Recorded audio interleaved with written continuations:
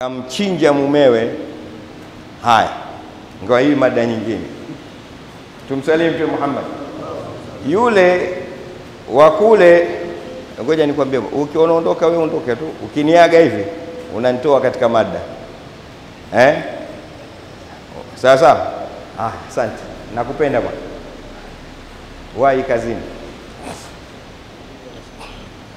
tumeelewana?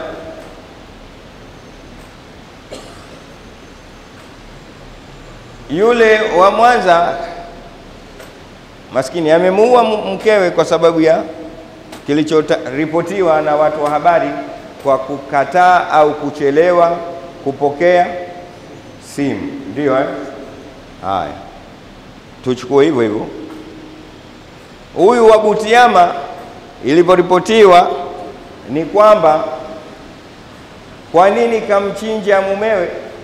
Kwa sababu mume yule alivyorudi nyumbani kafikia moja kwa moja bafuni. Kosa lake, kwa nini ulivyorudi wewe moja kwa moja umekwenda kukoga? Utanieleza leo ulichokificha hapa nini? Zikakatwa zile nani, msalimu Mtume Muhammad. Haya, nikayachukua hayo nikaishi nayo katika wiki nzima.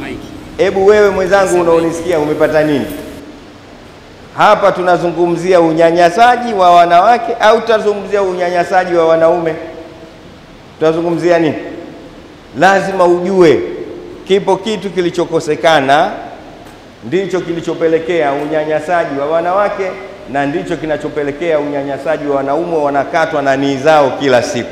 Kipo kitu kwamba wewe ukorofi wako nazikata hizi leo. Tahadharini huko, mtakuja vibutu hapa. Msalimu Mtume Muhammad. Eh, vyombo vya habari tunaviona, Sheikh Musa, tunaviona vinasema hivi. Acheni kuyachukulia mambo poa. Kitu gani? Hakika kila unachokiona ni musabab. Musabib ni nini? Kila kinachotokea eh, ile ni natija ya kupatikana jambo fulani au natija ya kukosekana jambo fulani. Ndugu zangu mnaonisikiliza, wazee wangu eh, ndugu zangu na vijana wenzangu na wanafunzi wenzangu, nalo ni nini? Bado mkao wetu katika mambo ya akida na imani sio mzuri bado. Hapa wakati nimekuja Eh, tunanong'ona nong'ona na kakaangu Sheikh Musa akasema, Walidi, bado watu hawajakuelewa, wanakuja na nguo rangi tofauti msikitini. Ndio eh? Leo tu hapa hawachanganyi basi japo nyeupe. Mmoja akasema ah, si tunafana sunna, lakini sunna yenyewe kavaa nguo ya kijani na jinzi la bluu. Sasa huku juu kavaa chonlai, nikaambia hiyo sunna ya chonlai ya Mwalimu Nyerere hiyo basi bora Sheikh Musa akamwambia, si ungeifanya ikawa nyeupe chunla hivyo hivyo, lakini nyeupe, angalau mchanganyo basi upatikane. Mswalini Mtume Muhammad, si mmenielewa vizuri? Narudi tena, eti hapa tuzungumzie unyanyasaji wa wanawake au unyanyasaji wa wanaume? Tunazungumzia nini sasa? Ah, tunazungumzia mkao wetu katika Mungu bado bado. Elimu tunazo, fedha tunazo, uzuri tunao, mambo mengi tunayo. Tulichokikosa akida, tumekosa mafundisho sahihi ya Allah, tumekosa. Wallahi, ndo hicho tu. Nimesema pahala juzi inaniharibia. Sasa hivi wala hatuhitaji tena misikiti. Utaogopa kidogo nikwambia neno hilo. Hivi sasa madaraka, hatuhitaji tena misikiti. Sheikh Musa, hivi sasa hatuhitaji tena misikiti ya marumaru hivi, basi inatosha misikiti, inatosha na ukitaka kujua kama inatosha, nyie leo si mtatoka hapa sasa hivi? Mtafaje? Mtatoka njooni alasiri wote, alafu oneni huu msikiti ukubwa wake huu eh, bwana, mpiga picha uchukue msikiti wote uchukue, kwa sababu hii wanasikiza na watu wa nje pia, wanaweza ikawasaidia. Chukua wote uone msikiti huu katika swala inayofuata baada hii ya Ijumaa una safu ngapi za wenye kuswali? Mswalini Mtume Muhammad, una safu ngapi? Tano pia za kubahatisha, msikiti wote huu. Itakuwa mbili tatu. Umeona, nenda kwa vituo, toka hapa nenda Mwenye Mkuu vile vile, nenda Mtoro vile vile, nenda Manyema vile vile, nenda msikiti wa Idirisa. Vile vile, nenda msikiti wote, hata huko kwenu huko ambao ni mdogo mdogo sana, una safu ngapi? Kisha njoo alfajiri uone, ndo kabisa. Kuna misikiti mingine alfajiri haifunguliwi kabisa, haifunguliwi. Eh. Ndio umejitahidi msikiti, basi ina imamu na, ma, na, na muadhini na mpita njia. Watu wengi wanaswali alfajiri kwa sababu ya kuwahi makazini au hospitali au wasafiri wawahi kwenda Ubungo kupanda basi na Mbezi, ndo itamkuta alfajiri hapa anaswali, lakini eti anatoka nyumbani kuja kuswali alfajiri hasa alfajiri eti imemkuta hasa kwamba sasa ni wakati wa alfajiri, tena kipindi cha kipupwe kama hiki, ngoja nikaswali. Hayupo, msalie Mtume Muhammad kafanya mambo yake, alafu ajitie maji alfajiri aje kuswali na baridi haji nini? Mungu bado hajajaa katika kifua chake. Madaraka, narudia tena, hatuna haja ya misikiti sasa hivi, itatisha kidogo. Sasa hivi tuna haja ya watu watumiao misikiti. Haja yetu sasa tuongeze umma unaotumia misikiti. Mnanielewa vizuri? Na neno nalisema miaka mingi ya hivi karibuni kwamba sasa ni juu yetu kumwandaa mwenye kusujudu kabla ya pakusujudia. Mmenielewa vizuri?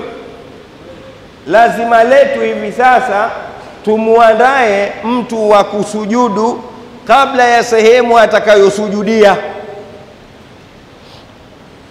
Sehemu za kusujudu hizi ukiziandaa, alafu hayupo mwenye kusujudu eh? Yale majeneza yapo kwa sababu wafao wapo. Ingekuwa wenye kufa hawapo, jeneza la nini? Na tu, ni nani huyo ambaye anatakiwa tumwandae? Ni mimi na wewe eh? Sasa hivi tuna haki ya wingi wa vituo vya kufundisha aqida sahihi na, na sheria ya sawasawa, ndo haki yetu.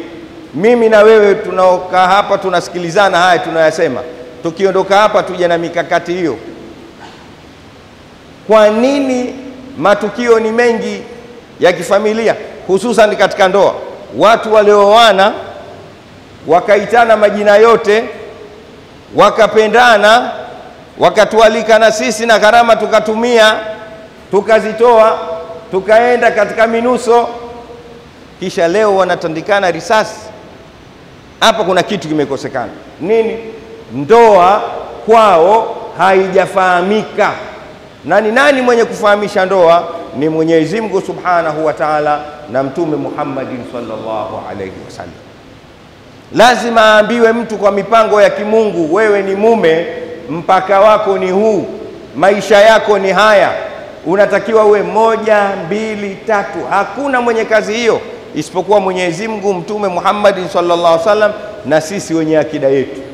Tufundishane na mke naye kabla hajaolewa ajue aya Atayajua wakati gani? Ni uongo. Eti atayajua kwenye kitchen party, ni uongo. Kitchen party kile cha siku moja kule, anaenda kupokea mabakuli, majiko, vitanda, anaenda kupokea shuka, sawa sawa. Kule aendi kufundishwa. kwa siku moja. Huyu lazima tumpate kabla aja ajabaleghe, mpaka ana baleghe, mpaka anakuwa mtu mzima, mpaka anaenda mbilini kwake. Sisi watu wa pwani tunaita mbwilini, mpaka anakwenda kwa mumewe. Na huyu mume tumpate vile vile kabla ajabaleghe, tuwe naye tunampitisha katika vitabu vyetu hivi hivi, Risalatul Jamia, Durarul Bahia, Safinatun Naja, Muqaddimatul Hadharamia. Umeelewa vizuri? Ghayatu Wataqribi, Umdatu Saliki, Alyakutu Nafisi. Vitabu hivi hivi ndio vinamtoa mtu ambaye kwamba hatotetereka. Aliyopita huko mtu aliyopita huko mtu hawezi akachukua kisu kama ni mwanamke akakereketa zile raha zake, na vile vile hawezi mwanamme akachukua risasi akampiga kichwa mtamu wake, haiwezekani. Lakini kwa nini anatokea? Bado hatujafanya kazi sahihi na wenyewe hatujakubali.